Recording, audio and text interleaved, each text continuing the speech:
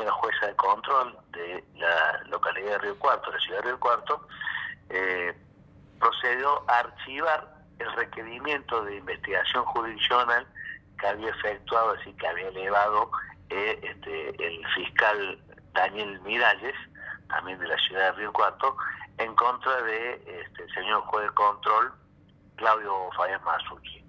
Es decir, que a través de este archivo eh, entiende, sostiene y así lo ha resuelto la magistrada de que no existe ni existió ninguna conducta reprochable este, por parte del señor juez de la localidad de Blanco eh, como para que ella pueda investigar o al menos imputarlo, que sería el paso siguiente en caso de haber descubierto o haber este, las pruebas, así la hubiera conducido a entender de que había algún hecho o algo para investigar por parte de justicia, ¿no es cierto?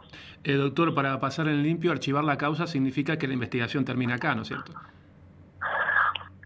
Eh, el, el archivo no tiene la misma el mismo valor que el sobreseguimiento, pero este, sí, eh, si no existe una, una apelación por parte de este, fiscal, eh, evidentemente la causa queda cerrada.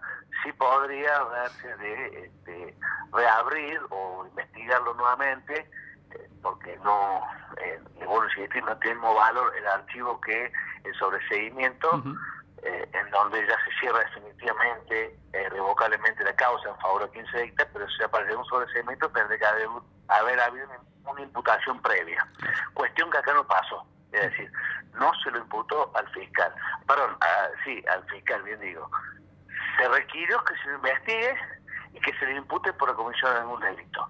La jueza, la magistrada, entendió que no hubo por parte del fiscal, no existió jamás algún hecho que se le pueda reprochar, ni siquiera para ser investigado o para que se le impute. Por eso que se archivó. Entiendo que con los fundamentos y argumentos fuertes y certeros de la señora jueza, más allá de que técnicamente se pueda este, investigar o apelar y demás, esto ya ha quedado definitivamente cerrado. Eh, usted, doctora, ha hablado con el eh, doctor Claudio Masuki, en este caso, eh, sobre este tema, cómo ha recibido la noticia. bueno, recibió la noticia con, con serenidad, con tranquilidad.